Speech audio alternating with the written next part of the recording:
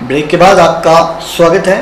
पिछले काफ़ी लंबे समय से हमीरपुर शहर चोरी की वारदातों को लेकर सुर्खियों में रहा। शहर में एक के बाद एक चोरी की घटनाओं को अंजाम दिया जा रहा था, जिसको लेकर स्थानीय जनता के साथ पुलिस विभाग भी काफ़ी परेशान था। हमीरपुर में पुलिस ने चोरी की घटनाओं को रोकने के लिए एक अनोखा तरीका अपनाया है। एसपी हमीरपुर अरजीत सेन ने स्वयं जिम्मेदार संभालते हुए घर घर जाकर लोगों को जागरूक करने का काम शुरू किया।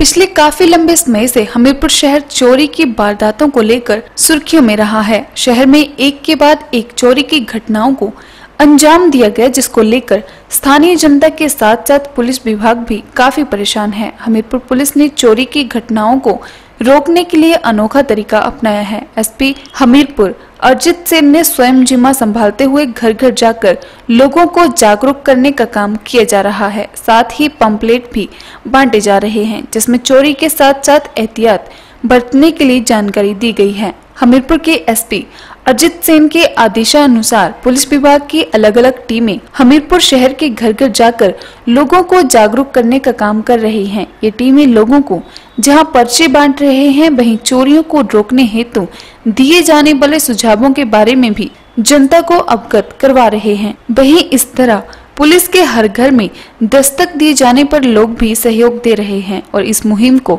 लोगों द्वारा भी सराहा जा रहा है। इस अभियान को लीड कर रहे सब इंस्पेक्टर पूजा ने जानकारी देते हुए बताया कि वे घर घर जाकर लोगों को चोरियों को रोकने हेतु तो सुझावों की जानकारी जनता को दे रहे हैं। सब इंस्पेक्टर पूजा का कहना है कि जनता की तरफ़ से भी हमारे इस अभियान को लेकर अच्छा रिस्पांस आ रहा है और जनता को कई महत्वपूर्ण टिप्स दिए जा रहे हैं ताकि चोरी की घटनाओं को अंजाम नहीं दिया जा सके।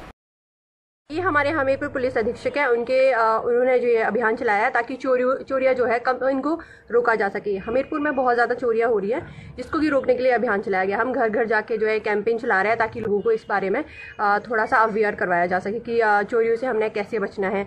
ज़्यादा से ज़्यादा जो कैश है या फिर अपनी ज्वेलरी है, उसको घर पर ना रखें और उसके लिए बैंक वगैरह का यूज़ करें। सबसे मेन बात जो है C C T V C C T V cameras जो है उसको लगवाए घर में या फिर कुत्ते इत्यादि वाले और वाहनों में जितनी भी आपकी गाड़ियाँ हैं गाड़ी एटसेट्रा में उसमें नकदी ना रखे ना ही कोई ज्वेलरी वगैरह रखे तो इसके रिगार्डिंग ये अभियान चलाया जा रहा है। मतलब जैसे हम जैसे कि हम घर में जा रहे हैं तो सारे मतलब हमें कॉपरेट कर रहे हैं। हम लोगों को ये भी बता रहे हैं कि जैसे आपके घर में कोई किराएदार रह रहे हैं उनके बारे में भी पुलिस में थाने पुलिस थाने आगे वेरिफिकेशन एक बार करवा दीजिए। कुछ भी उनको बताया जा रहा है कोई संदिग्ध उनको मिलता है कोई फेरी वाले आते हैं या कोई भी मतलब कोई चीज़ें बेचने वाले आते हैं अगर उन पर डाउट है तो पुलिस को फ़ोन किया जाए तो हम इस प्रकार से अच्छा रिस्पॉन्स मिल रहा है लोग भी अच्छा रिस्पॉन्स कर रहे हैं और समझ रहे हैं कि पुलिस की बात को।